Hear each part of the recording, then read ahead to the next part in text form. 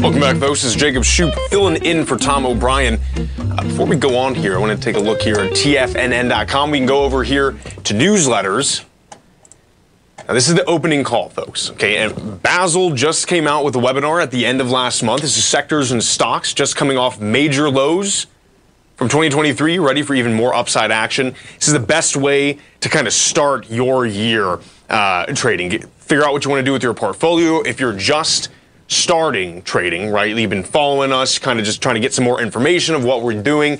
I would really recommend subscribing to the opening call newsletter from Basil Chapman. Okay, this is a 30-day money-back guarantee. If it's your first time, yeah, nothing to risk here. All right, you get access to all of his old webinars. These things run, you know, like right here we have one from 90 minutes. We have one for two hours. I mean, these are are really worth it, guys. If you have not checked them out yet, I really recommend. And I believe we have Basil on the phone right now. Basil, can you hear me? You certainly have me on the phone, and actually, I have me on the uh, on the mic. But uh, there you go. Good to speak with you, and a happy New Year. And you're doing a great job. Yeah, I can't believe how much you've added to TFNN. Uh, came in as a novice, and you are superb, doing fabulous work. Thank you so much, Basil, and and really listening to all you guys online has just really helped a lot. So uh, I really appreciate that, and happy New Year. How's the weather? Um, over in the New England. I heard you guys got some interesting weather coming to you. We we did have uh, very. Uh, it depends where you were in, in, Massachusetts. Western Mass got blasted with about uh, 12 inches. Uh, but we only got about two, three inches, and it was soft, and it kind of went away uh, on the at least in the streets, but the sidewalks are still quite snowy. Yeah. There you but, go. Uh, yeah. We're getting yeah, some tough winds here tonight, that. so. oh yeah. Oh okay. Well, Good luck. Well, Basil, what are we uh, looking at today? So I thought I'd just give a little overview here. So um, we actually are short the Dow. Okay. Um, but in the long term, we have positions that go back to March. Long-term positions go back to March of 2020. We also the diamonds, and we have the diamonds plus the three times long. You shouldn't have that, but we've kept it all the way from October of this past year from the from the lows. Um, but within that, just this choppiness just says to me that there's a really good chance we've got at best a sideways cons- up, up, upper level consolidation, and you can see by this daily chart here of the Dow, this rectangle. But when I look at this weekly chart, this is a single leg from the October 27th low. That was the 27th of October, where the uh, Dow was at 32,327, and all the other indexes were at their lows. This move went one, two, three, four, five, six, seven, eight, nine, ten weeks with higher highs. That means I call, in the Chapman methodology, I call this a floating letter until it makes a peak. Well, technically, I could consider it a peak F, meaning, whoa, you've got to be careful here. But the strength of the technicals and the weekly are so strong that I have to call it a, a possible new leg A maybe even a peak A if we don't make a new recovery high this week. And that just says to me on the short term, we might have some volatility. But so far, unless there's really bad news, I, and we haven't had, you know, the, the, the, yields are still more at their lows than the highs.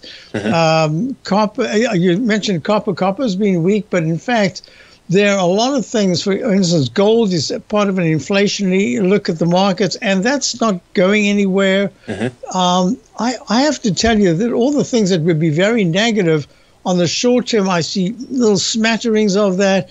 So I have a position, this for subscribers, and this is, I, I, I, I would call it a hedge more than an actual a directional move until this nine period moving average, this green line. Let me just put it on this chart right here until this green line starts to go pink by going under the 14. The nine period goes under the 14 period moving average. We have been in this green line since the um, 3rd of November. And that green line is the nine period moving average. And it's just been, I call this the indicator of last resort. All the other indicators could be failing as long as this remains positive, it means that there's internal strength. So I am anticipating that we do get some kind of a pullback over the that we that the weekly chart that I showed you, the spectacular move up, actually does make a peak this week with a lower high than last week, and then we'll look at see how we have a digestive phase. So within that context, my question was on August the 1st, we actually went short the Dow on a shorter term basis. And that was right then. I said, we're going to have to wait for that nine period moving average to cross negative. Eventually it did. Then, of course, we tumbled down to the 32,000s. I don't see this quite the same at this point. I see a lot of support levels between 37,000 in the Dow and 36,500. But I do see very similar action here with this little double top like we had over there. Mm. So I'm watching it very closely because I, I, it's a good sign when you have Boeing tanking. Yes, not that it's a good sign for Boeing. I'm just saying sure. that Boeing was sharply lower, and yet the Dow managed a, a, really strong move up yesterday. Yeah. And so now you've got a few more Dow stocks that are weakening, and that just says to me we've got to be a bit careful. But I heard you speaking a, a little while ago about uranium. Yes. And I thought, oh, that, that is interesting because we have a uranium stock, UEC is the symbol. Uh, this is called Uranium Energy Corporation. And I said to subscribers, every year we, we, not every single year, but a lot of the years that we've had over the last five, six years, we've had some kind of single digit stock or very low price stock that just seemed to find its niche. and that and if you look at the way uranium, this Uranium Energy Corporation, it went to a new recovery high. It's not an all-time high. That goes all the way back to 2010, where it hit 748. But in the interim, it's been all the way down to a low that was made March of uh, 2020 at 35 cents, and now it's yeah. trading at 6.80. And you can look at this cup formation, and all the technicals are still very strong. And I say to subscribers this could very well be one of those situations where, under all the conditions that should take this particular stock down, it just it defies gravity and it keeps holding well. And look at this weekly chart, how it's walking this green nine period moving average, which is way above the 14. So I uranium, I think, is telling if you go to the uranium uh, URNM, the uranium uh, ETF. This is a Sprott uranium miners ETF very strong move today. It was not acting, the chart didn't look quite as good as the UEC, but now it's acting very well. And if it takes out the high that was made, oh, look at this. If it takes out the high that was made on the, 8th, the week of the 8th of December, which is at 50.55, if it just goes to 50.56, that breaks out and that becomes a new leg C in the weekly chart and extends the leg C in the monthly and says, wow, there's a chance that we could go um, you know, we could start to go into the uh, 55 area over the next uh, month or so.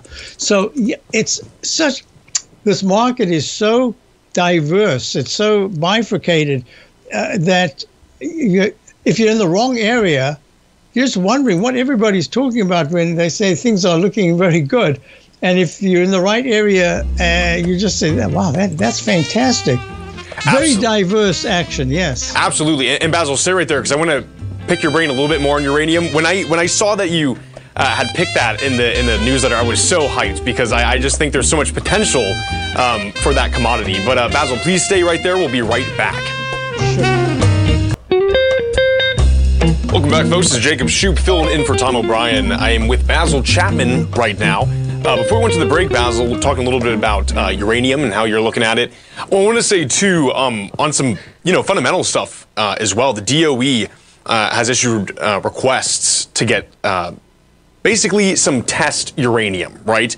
They want to enrich from 5% up to 20%, so this is really big, and a lot of these uranium guys are taking off. So um, just wanted to put that in there because I thought it was good information as well. I, I like the the way you, you tie the, the fundamentals to the technicals because if the if the fundamentals are improving or strong or weak, that in fact does impact the chart's potential. Sure, absolutely. So in this particular instance, the reason why I kept saying I love the way uh, the uranium, especially the UEC stock that we have, um, is the, why, they're acting very very well, but most importantly it's as if they've ignored the marketplace, the overall market that is the stock market.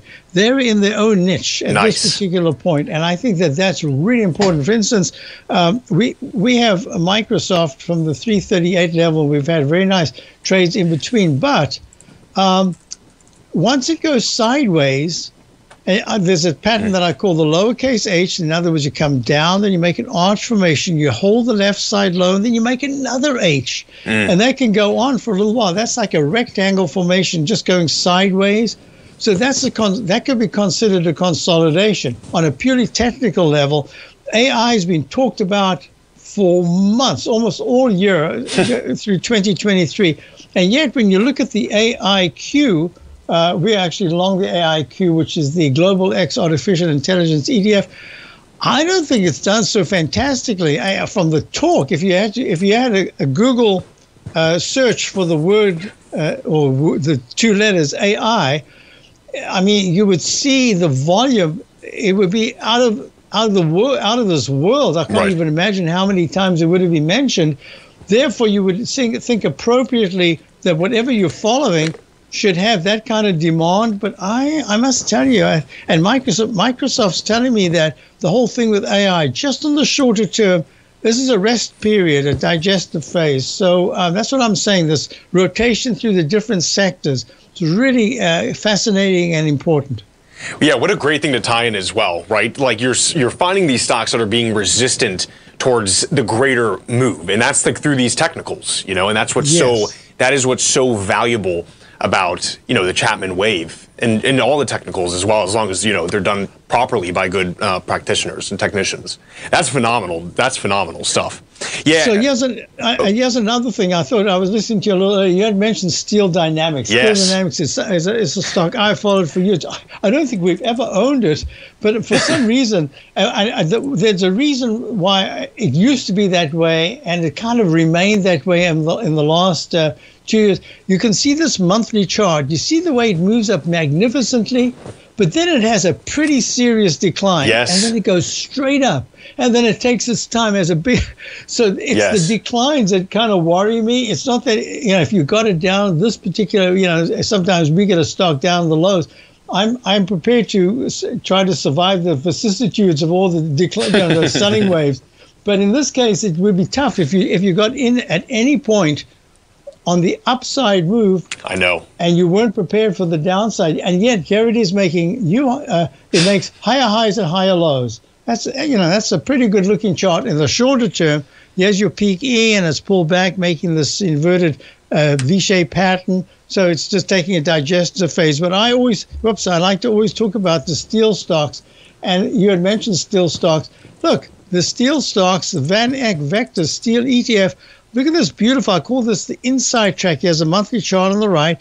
You see the little green line and a little uh, tiny little uh, channel, yeah. pink line.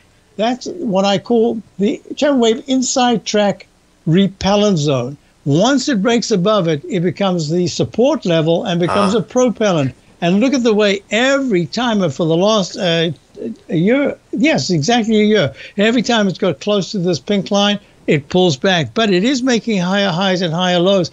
And I think that that's really telling me that the economy, because you cannot have steel stocks moving up if the economy, uh, the sub economy hasn't been doing quite well. Sure. So when I look at it this way, I think that this is a, this fits exactly the scenario I'm thinking we're in right now a digestive phase after a really spectacular November and December you you need a breather. It's just important to you know take a breath, get ready for the next big move, and that's kind of I think where we are. Yeah, absolutely. And and even with Steel Dynamics, you know, you kind of bring up a, a fear I have with it, right? And I, I focus just mainly on Steel Dynamics because I traded it for so long and I got to kind of understand how it worked. But you know, you had these like you had a pretty significant trading range from about you know 100 up to 110, and it was so predictable, right? As as you're even saying, you get these high highs. If you bite on that movement up, you know, and you don't, you, you, as you say, you can't have like the uh, kind of strength to, to hold it on the way down. You know, you you would see this constant movement, but then we had this breakthrough at the 100 level, which was really support for that stock for that was quite a very while. Very good action. Yes. Yes, and but what was so interesting, and you, you know, it, it broke down that support level on on quite significant volume like for what it usually traded at. And that was a little bit strange to me. And I had thought that, you know, this was a surefire thing that we were setting up for lower prices, but it, it completely you know, it, it kind of defied that, I would suppose, right? And as you're saying, you're really seeing that. You get a nice run up, a pullback, and then a run up again to higher highs. And I, I think that's what's so appealing, at least, you know, currently with this stock. So, so you know, you had mentioned earlier that what my my web my last webinar, mm-hmm. and it's actually a viable webinar. I said this is not an exact timing type webinar. I want this as an educational one. Yes. And I said what we are looking for are what are the areas, the laggards, the stocks and the ETFs that were really uh, poor going into the, the lows of 2023 are they coming through? Are they about to start a new move up and to become leaders for the first quarter of 2024? Uh, so for my newsletter, uh, we've been we're trying to find those sectors and stocks and ETFs that really kind of just they were very poor. They're off everyone's radar. This is when I like to get them. I love and it. if we're able to get them kind of at the lows, uh, it gives you leeway on the upside, when you get those, as I call them, the vicissitude, those down moves that suddenly come about, if you get them right, it means you can survive that kind of decline. And uh, as long as they're moving to higher highs and higher lows. So this is a very important period. I think people should not be afraid. Get your get your little kitty ready. Get your your stock list, the stocks that maybe you missed on the way up before, and you say when they come back down, these are fabulous companies you know that's the reason why we got Microsoft because it's just an right. incredible company. We were able to get it near the lows, and uh, now we've got that room to say, well, we've got a little leeway.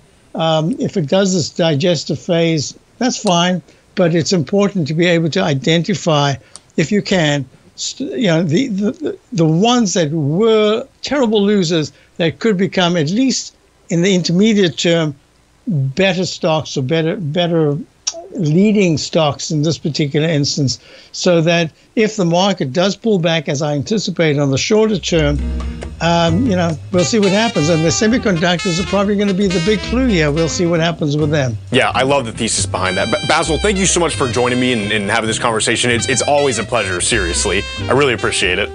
Thank you, Jacob. Take care, and, Basil. Uh, it's always a pleasure to listen to you. Thank, Thank you. And remember, folks, go right here, TFNN.com, newsletters, the opening call by Basil Chapman, 30 day money back guarantee on the first time you subscribe. Folks, stay tuned. We will be right back.